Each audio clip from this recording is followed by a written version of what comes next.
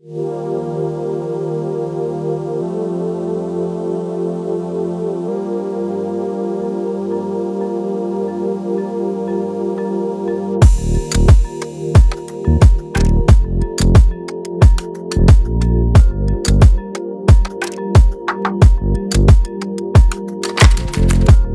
gua aslinya dokter sih. Dari Jogja. Aku lulusan UGM. Pada waktu itu yang ngebuat itu adalah dokter tuh ibarat kita itu datang dengan pakaian yang rapi. Ya kan? Celana rapi, klimis itu.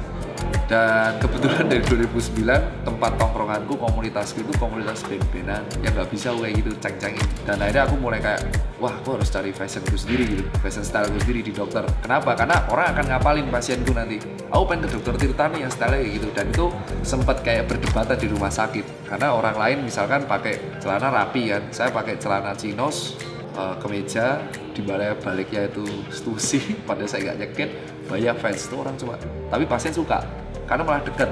Nah itu ada yang ngebawa saya jadi sekarang. Dan karena tongkrongan saya teman-temannya seperti itu teman-teman skate teman-teman band saya nggak jauh-jauh style dari mereka